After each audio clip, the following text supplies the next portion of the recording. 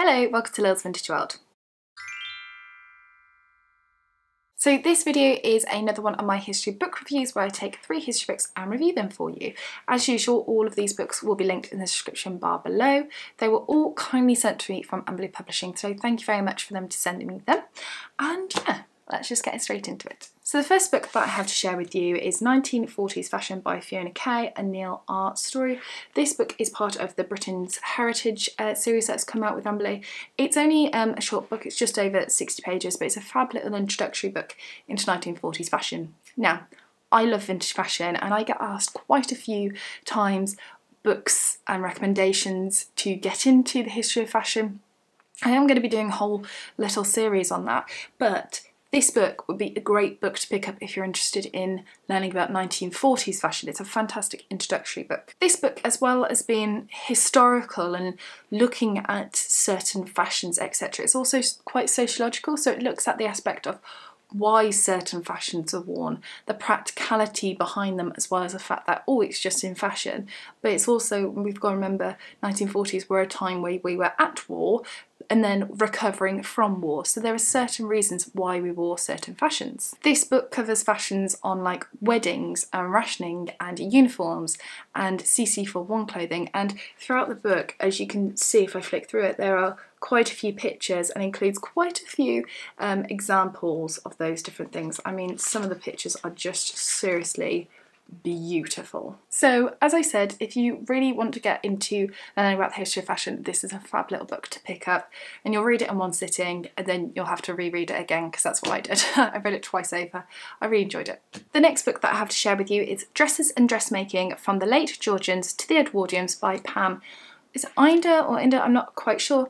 Uh, this book focuses on the dressmaking side to historical fashion of this period, which I'm going to be honest is quite unusual. There aren't too many books that do this. This is a book that looks at fashion but also the dressmaking side of it. So this book discusses things like the working conditions of working in dressmaking, the technical technological get my words out, uh, technological advancements in the ability to make these beautiful dresses. Throughout the book, as you can imagine, there are quite a lot of images. Uh, some of the images I really enjoyed were like as well as the beautiful examples, were the Punch cartoons, where it kind of takes the mick out of the ridiculous fashions.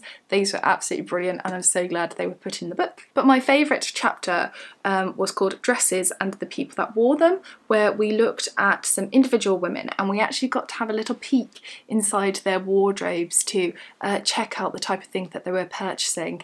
And you can imagine these are some really grand ladies. So if you're interested in the history of fashion, particularly on the dressmaking front, then you'll really like this book. And finally, I have Lady M, The Life and Loves of Elizabeth Lamb, Viscountess of Melbourne, 1751 to 1818 by Colin Brown. So this book is a full-length biography about this woman, Lady M. It's about her family and it's also about her social circle. So it's not just playing focus on her, it's playing focus on her and those around her. Lady M was someone who was full of scandal. She kind of, she did the unwritten rule um, in the Georgian era where if you have provided your husband with um, an heir, you can, if discreetly, have affairs with people that you want to have affairs with.